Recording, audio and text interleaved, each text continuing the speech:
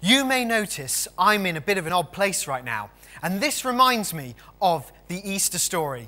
And you know what? There's some really exciting news. On Good Friday, there's going to be a service out in the car park, but also for the children and young people, they can come in to the church building and we're going to be out in the garden having lots of fun, looking at the story of Jesus and just enjoying ourselves. So please do come along and join us. But we need to know who's coming to make sure everyone is COVID safe. So please email me at nathanbendell at stpaulsthroop.com and let me know by Tuesday, the 30th of March, so that we can get everything ready that we need for you to have a good and safe time.